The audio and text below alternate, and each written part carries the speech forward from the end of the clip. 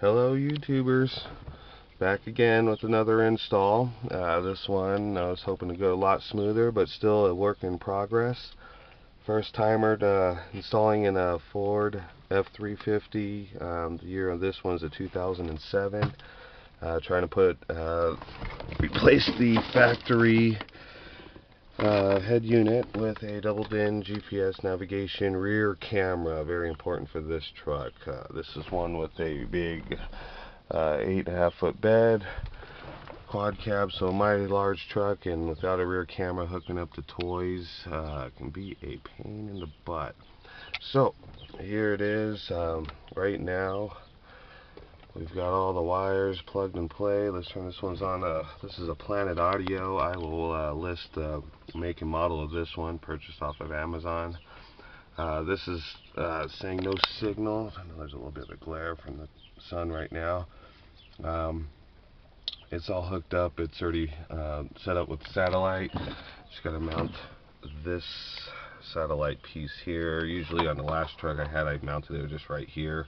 Uh, it could be an eyesore to some people, and you can run it other places, but that's just where I usually going to mount that. Uh, there is a conduit in the back of this truck for uh, wiring to get to a rear camera.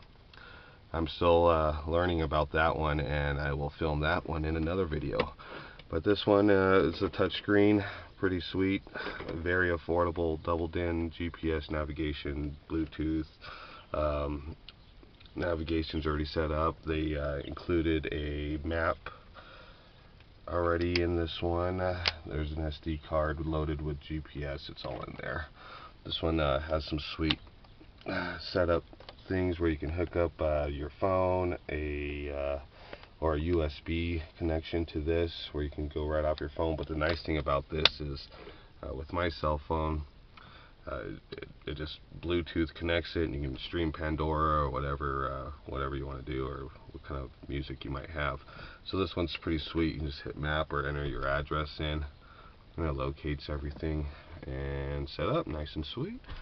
So uh, over here we got a menu button. We can click back to that. Just click onto the radio and get some tunes going. It's pretty sweet. Uh, you can uh, click on band here. Oops. That just switches it to a different, whole different station. I don't know what the heck I just did. So son of a gun. Um, I might just reset that. Yep, I think I did.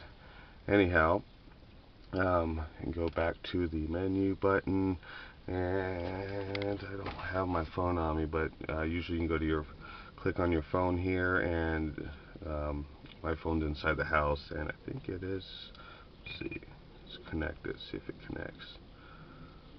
And you can scan for device. Well, my phone is connected, but when I have it here, I can switch it to Pandora or whatever music I have on my phone if I wanted to, and it'll read right off of that, but it is pretty sweet. Uh, this is the first one with an F350 panel. You want to make sure your key is in, push on your parking brake, and you're going to drop your drive down to the number one gear. And by doing that it allows you to get a lot more maneuverability out of the panel because this whole panel comes off to get, even get to back to the stereo. Not like an F-150 a lot more involved with this one. Um, important tool panel popper so you're not busting busting up your truck alright that's a good one to have nice little flathead screwdriver another great tool uh, 7 mil Rat, uh, if you got, well, I don't know if you get a ratchet in there, it's pretty tight squeeze. Some people can pull this whole thing off. I've seen it done. Uh, there are a lot of wire. You got your PowerPoint wires. You've got your AC, uh, your rear window, your four-wheel drive. You've got your uh, your info panel. On the other side, you've got your uh, removable pedal. This one right here is pretty short, so that uh, nice thing about it, it pops out.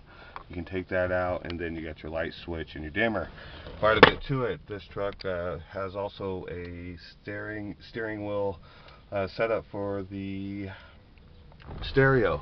Right now it is not set up. I'm still trying to figure this one out. Um, there's ways to program it and I'm gonna have to continue that in a new video but I just wanted to show you YouTubers it can be done and it will be done. See you next time